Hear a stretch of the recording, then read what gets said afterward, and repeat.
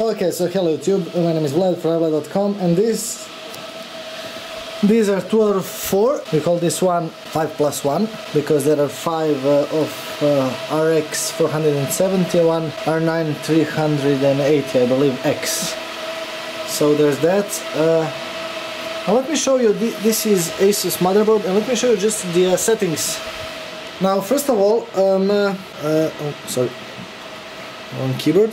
I just hope I didn't exit uh, mining. Okay, now uh, in here in the advanced settings you should have an option to enable uh, above 4G decoding and unfortunately there is none. So what you should do first is go to uh, easy update and choose internet, yes, and uh, well first of all you should update BIOS.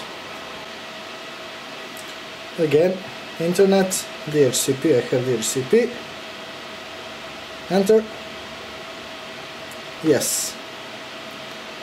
After the successful download I will show and upgrade I will show you what to do next. After the BIOS is uh, this is the version by the way uh, after the BIOS is uh, downloaded you get uh, a question do you want to update? Yes. And this will actually uh, take some time. After the programming is done you get this message and you need to press F1 and now press F7 and uh, when you go to advanced you get this option. Now bear in mind that once you enable this uh, sometimes uh, uh, you won't get a picture on your screen so you have to disable it, install drivers, then enable it. Okay, the next thing you need to do is go to graphic options, no sorry, go to DMI configuration, choose generation 1, PEG port, also generation 1,